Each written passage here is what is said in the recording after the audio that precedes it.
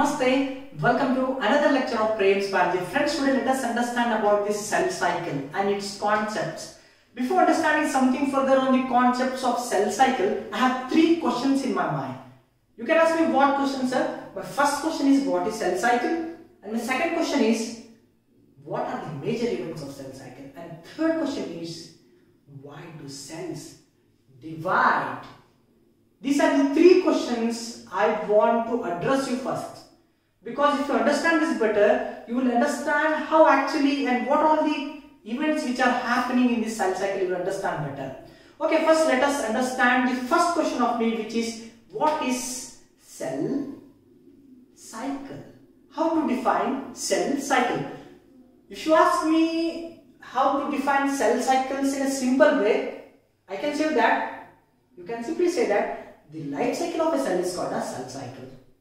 If you feel that this, this is very simple, sir, to understand and bring give us bring and give us a proper intellectual definition means you can define like this: a series of complex events with concern with growth and proliferation is called as cell cycle.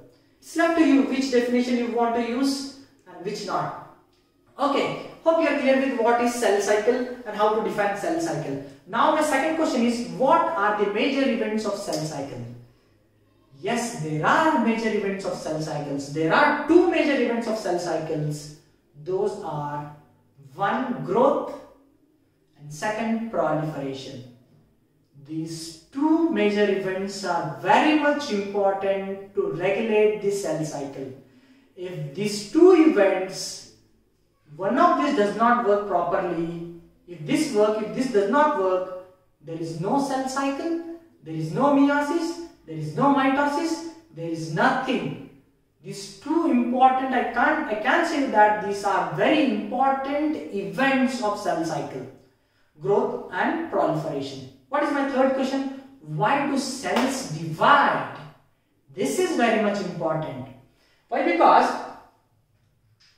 Without division, you cannot form a new cell. This is the reason cell division is very much important. I am bringing one, I am framing one sentence to understand why cells divide. Cells divides because to maintain the appropriate appropriate surface area and to maintain the appropriate volume ratio this is the reason cells divide. I brought you two words here, surface area and volume ratio. Let us understand this word with perspective to eukaryotic cell. How, why actually cell is dividing and what is surface area and what is volume ratio. Consider this is an it does not feel like a cell. Wait, I will redraw it.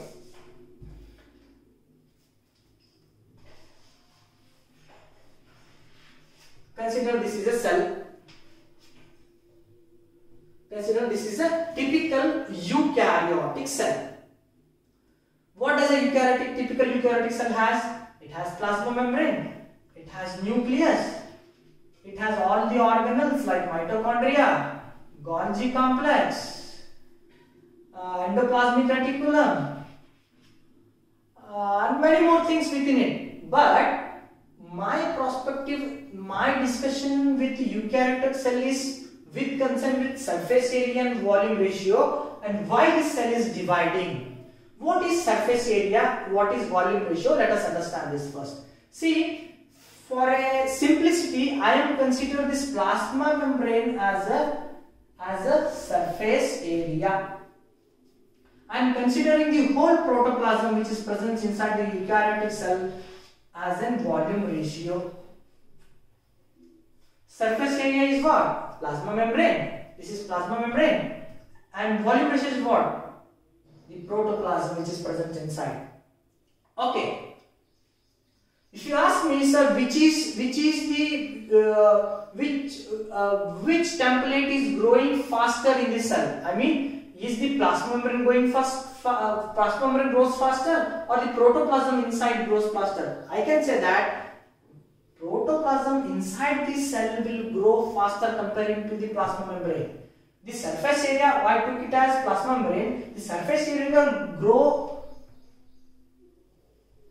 the speed of 2 and the volume uh, ratio which is nothing but a protoplasm will increase in the size into 3. So cube, in cube it will increase and in square this volume ratio is increased. So what does a eukaryotic cell need to survive? Does not it need a material to survive? So an eukaryotic cell is taking a material to survive. What it is taking? Consider it is taking an vitamin if it is taking a protein, consider anything which material which is needed for it, it is taking inside for its survival. Who is the who is the transporter for the transporter of the materials to the cells? Plasma membrane. Plasma membrane. To plasma membrane itself, all the materials go inside. For us, what is the entry gate which we get all the material inside our food? Mouth. Like mouth, for the eukaryotic cell, plasma membrane is the entry gate to get all the food inside. So, after getting all the food inside the, itself, one fine, one fine day, this eukaryotic cell will become bulky. It will become bulky, something very hefty. So much bulky that it cannot rotate its neck also from here to here. That much bulky it became. So what should do now? if it again takes the material, if it again takes the material, what happens? What, what happens means the plasma membrane, which I call it as surface area, there what it happens, there what the layer will get thinner. This bulky eukaryotic cell, if it want to take the material again, what happens? There are chances of getting rupture at the plasma membrane and there are chances of getting puncture also. If it get punctures, every material will come out and the cell will die. The cell will attain the senescence. Senescence means the cell will undergo arrest and it will die. So, what eukaryotic cell will decide is, no, no, this is a bad idea. I become very hefty. Now I need to get divided. So it divides its portion from here. Now go through the definitions of what why do cells divide? Cells divide because to maintain the appropriate surface area and to maintain the appropriate volume ratio. This is the reason why cells divide. I hope you are clear with why do cells divide. Now after this to understand to understand the four phases of cell cycle the cells show the four processes. I am deciding i am discussing that that now with you. Those four processes are first growth. Let me create some more space for myself the four processes, four processes, four processes of cell cycle. The four processes are, first is growth. Growth, I hope you are clear with this. I think I discussed this. Growth means increase in size. Increase in size of what? In, with volume ratio also and with surface area also if, if those two increase that is called as growth. And what is this second process? This is very much important.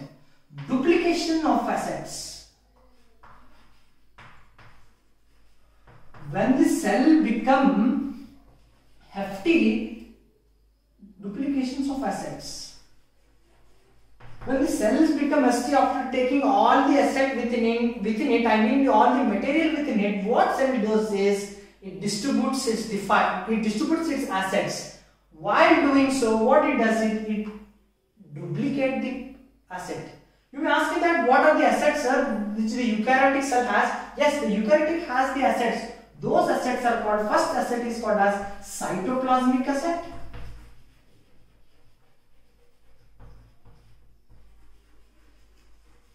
And the second asset is nuclear asset.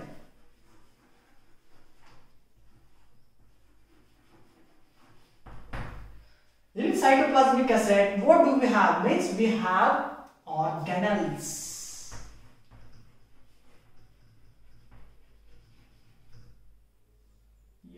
N-E-double-L-S. Organelles. And what we have in nuclear asset means we have chromosome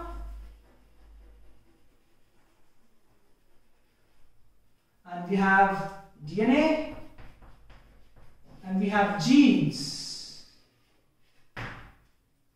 What is the duplication of asset here means you consider there is one organelle of mitochondria. What it does is it adds plus one. This is what means duplication of assets. If, if it has a chromosome of 2 consider, it will add 2 more. This is what is duplication of assets. Okay, after duplicating the asset, what is the third process means? It distribute the asset.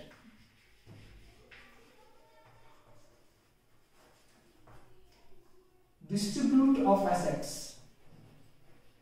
Here it distributes all the assets and to the daughter cells which which it came by proliferation. I will discuss better with this, this, this, this diagram.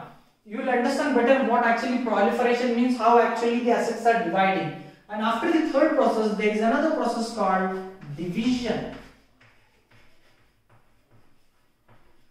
This is the fourth process of eukaryotic cell cycle. These two, growth and duplication of asset occurs in interphase.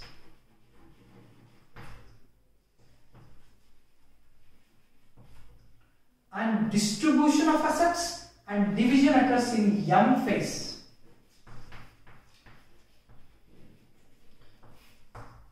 These are the four processes of cell cycle. Okay, let us understand diagrammatically how actually the assets are distributing and how actually eh, the duplications of assets is happening, how growth is happening, how division division is happening. We can see in this diagram. Okay, consider this is an eukaryotic cell. Here the cell wants to take the material, material. It wants to take the material from outside for its survival, for its growth. After getting after getting the materials from outside, one fine day this cell became bulky you can see here the difference, the cell, the normal cell is here and after taking all the materials it became bulky. In this bulky, it had what it did, it decided to divide. When it decided to divide, it, what it did, it duplicated the asset. See, here I have, I have drawn only two chromosomes I have drawn here four chromosomes here. What it did is, it, it decided to duplicate itself. Why to duplicate? To maintain the appropriate surface area, to maintain the appropriate volume ratio. So that is the reason it duplicated. And one more reason is it want to emerge and give birth for a new cell which is called as daughter cell. So that is the second reason it is dividing. So after after getting bulky, it, it, duplicated asset also. And what is the third process now? It want to distribute the asset. Here it is distributing the asset. See, it has divided, divided itself. And this is one daughter cell and this is second daughter cell. And it, it gave this asset for one daughter and this it kept it for itself. After doing so, when it gave and when it divided equally, what it did? What is the fourth process? Division.